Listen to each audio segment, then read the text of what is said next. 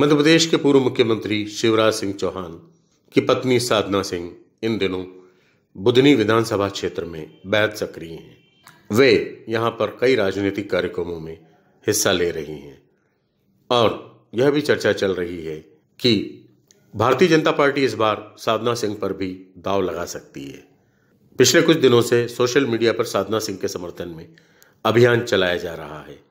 और यह भी मांग की जा रही है कि उन्हें विदिशा से लोकसभा का चुनाव लड़ाया जाए। सोशल मीडिया पर लगातार यह दावा भी किया जा रहा है कि साधना सिंह को विदिशा से अगर चुनाव लड़ाया जाता है तो पार्टी की जीत सुनिश्चित है। इसके अलावा उन्हें सशक्त उम्मीदवार इसलिए बताया जा रहा है कि वे बुधनी के साथ साथ विदिशा में भी बेहद सक्रिय रही हैं।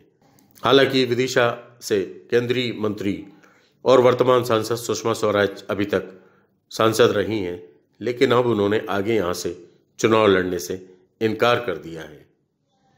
भारतीय जनता पार्टी यह चाहती है कि अगर साधना सिंह को विदिशा से चुनाव लड़ाया जाता है तो फिर शिवराज सिंह को कहीं और से टिकट दिया जा सकता है। और ऐसी स्थिति में अगर दोनों सीटें वह जीतती है तो उसे दो सीटों का फ़ायदा हो सकता है। देखने वाली बात यही है कि भारतीय जनता पार्टी कांग्रेस की ही तर्ज पर ऐसे सीटों पर निगाह रख रही है जहाँ उसे जीत मिल सके। Subscribe our channel and press the bell icon for more updates.